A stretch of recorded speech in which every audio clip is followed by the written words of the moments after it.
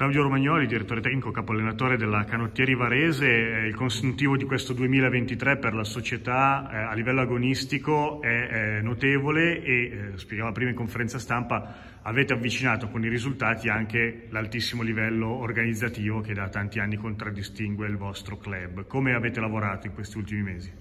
Ma abbiamo lavorato secondo me con criterio, cercando di far capire a questi ragazzi volonterosi e hanno dedicato il loro tempo giornaliero al canottaggio perché amano il canottaggio, un canottaggio di piacevolezza, di confronto e di amare il lago. Questo è l'obiettivo primario e soprattutto confrontarsi tra di loro in maniera tale poi di confrontarsi anche a livello nazionale e internazionale ad alti livelli.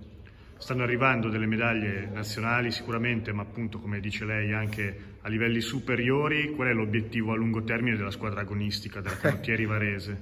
Eh, l'obiettivo è, eh, quest'anno abbiamo vinto tre campionati del mondo, uno assoluto e due junior. È sempre migliorarsi, far crescere questi ragazzi e cercare naturalmente, il sogno è sempre alto, un atleta della Canottieri Varese, quindi di Varese, di poter andare alle Olimpiadi. Ecco, eh, l'esempio l'avete in casa con Pierpaolo Frattini, che credo sia stato l'ultimo varesino esatto. eh, nella, nelle Olimpiadi del canottaggio. L'obiettivo ancora, mi ripeto, è quello di, eh, del 2028 di Los Angeles. 2028, abbiamo una squadra giovani, giovani però eh, bisogna sempre puntare alto. Questi ragazzi eh, si dedicano eh, tutti i giorni continuamente con passione, con amore, con, ripeto, con dedizione a questo bellissimo sport.